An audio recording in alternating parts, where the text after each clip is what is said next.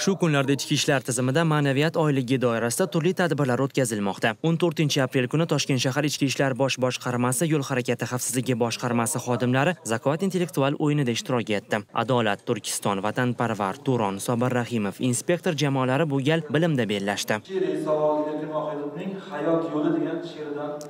Odatda xizmat vazifasini o'taydigan vaqtda ko'p uchitadigan yo'l patrul xizmati xodimlari guvohi bo'lyapsizki, bir stol atrofida to'planib zakovat intellektual o'yinini o'ynashmoqda.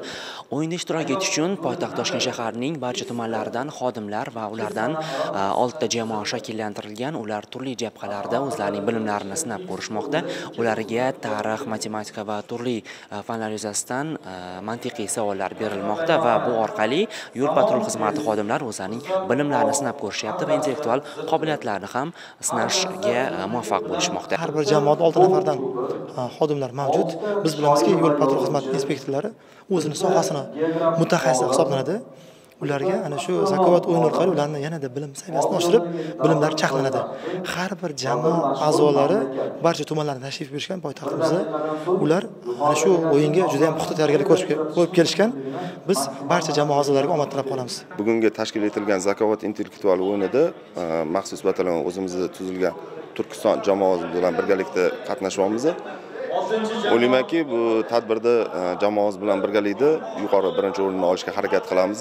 Bu tashkil etilgan zakovat intellektual o'yinida berilayotgan mantiqiy savollar bizlarni xodimlarimiz o'rtasidagi muloqotini fikrlashini hamda dunyoqarashini oshirishga sabab bo'ladi. O'yin ikki qismdan iborat bo'ldi. Har bir qismda 10 tadan savol berildi. O'yin so'ngida esa blitz savollar o'rtaga tashlandi. Bunda ishtirokchilar 20 soniyada ikkita savolga javob berishi kerak bo'ladi.